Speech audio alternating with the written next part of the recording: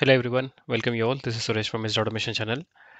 In this session, we're going to discuss about PyTest fixtures.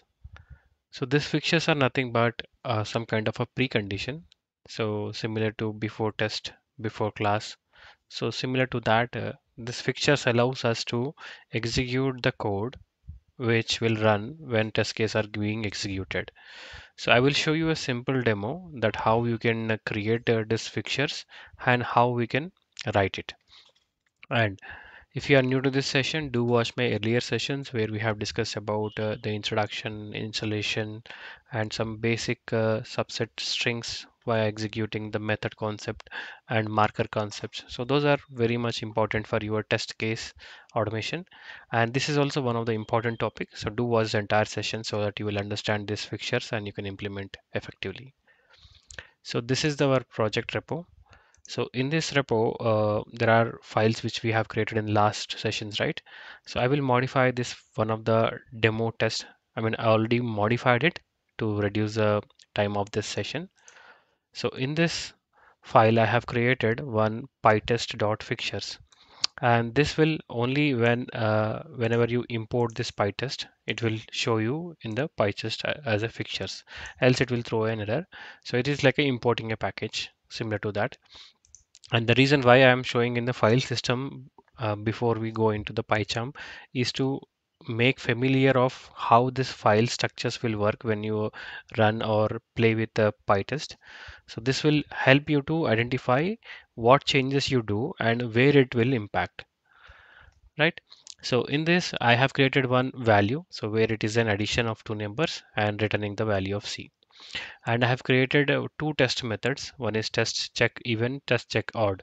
So if the value is equal to, if we are dividing and you are, it's giving a zero, then it's an even. If it is giving a zero uh, other than zero, it's an odd number. So it's a simple one. I just written and uh, in the same location, we have to open the command prompt. So shortcut is uh, type here cmd and it will open your command prompt.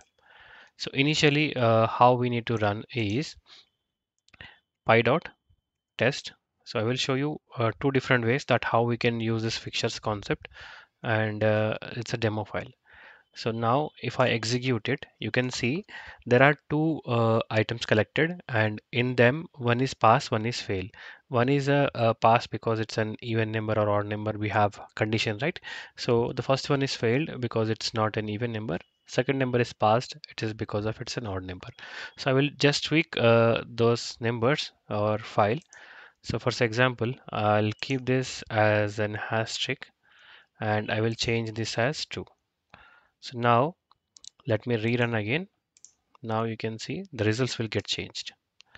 I think there is an error interrupted. Okay, we are consuming that value. Uh, so I instead of commenting it, I'll just use it and I will mark this as also 0. Okay? Because we are doing a, a, calling a fixtures right into the test. So we shouldn't do that.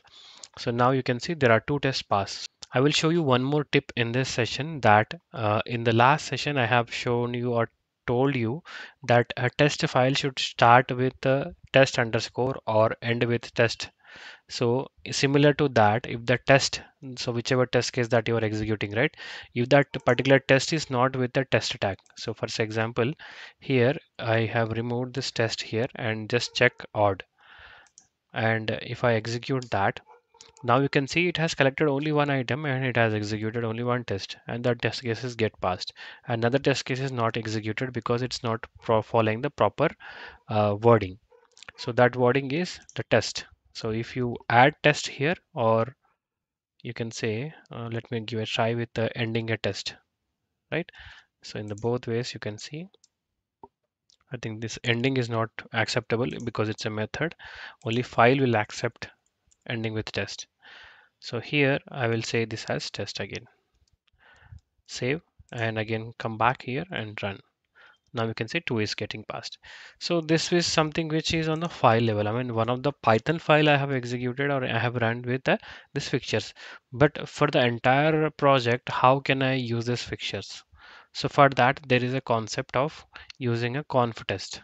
So I will let you know in deeper why we need that conftest file and what is the importance of conftest file into the project.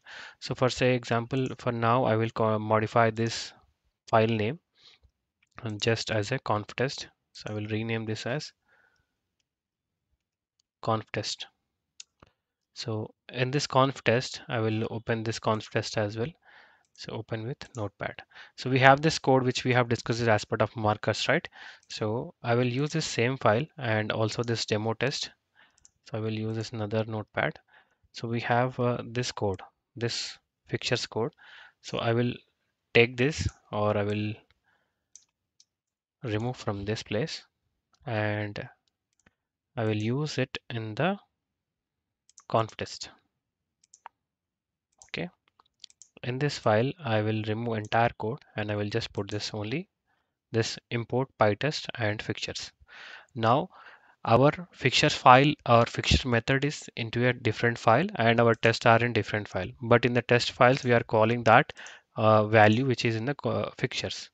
Now come back here and I wanted to run the same file which is a demo test right now you can see it is still passing you might be wondering, right, why and how it has executed because conftest has a fixtures. So that fixtures wherever we have that will load as a precondition. That is like a calling before when you execute a test. So this is the importance of this fixtures and you can call or you can use this fixtures in the concept of login. Whenever you do a application login, you can put this fixtures there and you can call as and when needed.